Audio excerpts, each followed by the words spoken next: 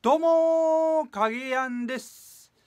今日はですね、えー、自分のコントロールできないことに意識を持っていかないということについてお話ししたいと思いますえーとですね自分のねコントロールができないものとかこととかそういうことに対してですねその意識をこう集中させないようにするっていうことですね。だからそのコントロールできないんでねそれをあれこれ考えてもですねそこにこうそこは意味がないというか逆にねそのコントロールできないことを考えすぎるとですね、えー、それはマイナスになることがあるんじゃないかなというふうに、えー、思います。例えば僕の場合ですとですね、えー、お店をやってますんで例えばそのお客さんが来ないと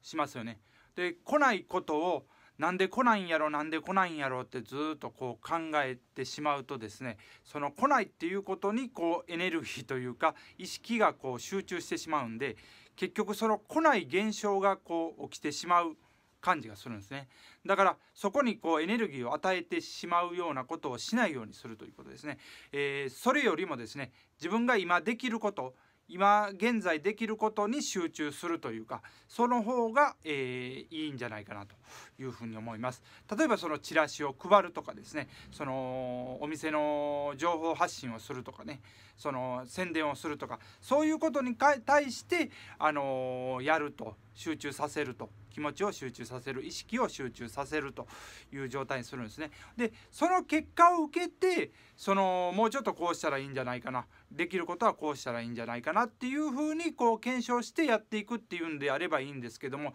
その、えー、お客さんが来ないこと自体に対してですね、あのー、意識を持っていかないようにするっていうことですね。そういうことが大切やと思うんですね。それをやっぱするとマイナスなことが多いと思うんですよね。でできることをやってるとそこはねやっぱそこにこうどういうんですかそこに意識を集中させることによってですねやっぱお客さんも来てくれるようになったりとかね、えー、そういうことが。何のね反応もなかったらですねそれはそれであのちょっとおかしいというかですね何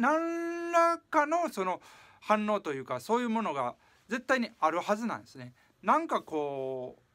起きてくると思うんですよね。でそれによってですね、えー、お客さんが来てくれるようになったりとかほんでそっからいろいろ改善していって来てくれるように持っていくというか持っていくまあそこはコントロールできないんですけども、えー、そういうふうに、えー気持ち気持ちというか意識を自分のできることに持っていく自分がコントロールできる範囲のことに対して、えー、意識を持っていく状態にするということが、えー、大切なんじゃないかなというふうに思います。ということでですね、えー、今日は自分のコントロールできないことに意識を持っていかないということについてお話しさせていただきました。ということで今日もよっしゃでいきましょう。どうもありがとうございます。